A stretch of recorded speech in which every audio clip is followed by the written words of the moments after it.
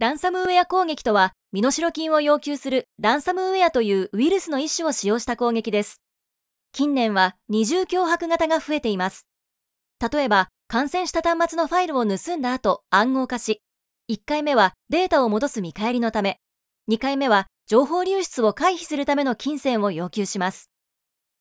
ランサムウェア攻撃は近年猛威を振るっており、日本の大企業の被害も大きく報じられています。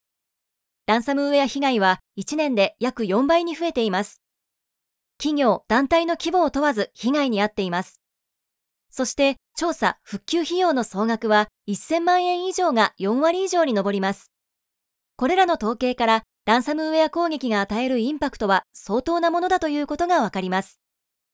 ランサムウェア攻撃はウイルスの感染から始まります。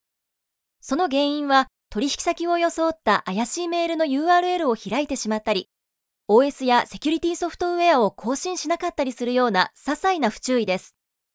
その不注意によって生まれた弱点が狙われ、ウイルスなどが侵入してきます。ランサムウェア攻撃は1回の攻撃では終わりません。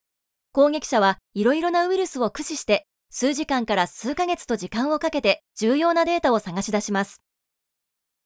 攻撃者は重要なデータを見つけ、盗みます。そして最後にランサムウェアを実行し、データを暗号化します。その直後に身代金を要求する脅迫文が表示されます。しかし、身代金を払ってもデータが戻る保証はありません。なんと、身代金を支払ったうちの46%の組織はデータを完全に復元できていません。また、再び攻撃を受けた組織は80%にも上ります。盗まれた重要な情報は、攻撃者が情報交換や情報売買で利用するダークウェブで公開されることもあります。被害に遭った企業、団体が被害を受けたことを自ら公開しなくても、被害に遭ったことがわかることもあるのです。では、ランサムウェア攻撃を対策するにはどうしたらいいのでしょうか？すぐできる対策は3つあります。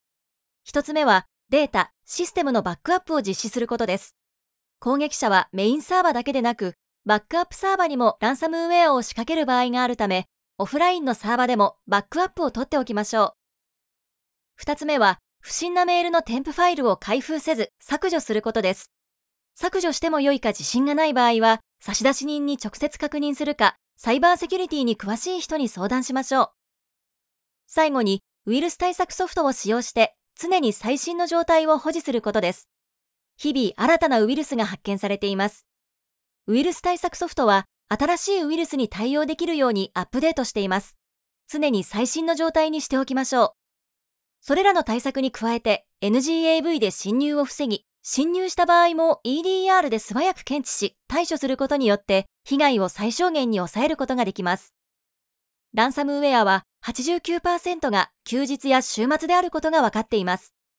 休日も常に監視し、素早い対応ができるように外部の専門家による監視、対処サービスも使用すると良いでしょう。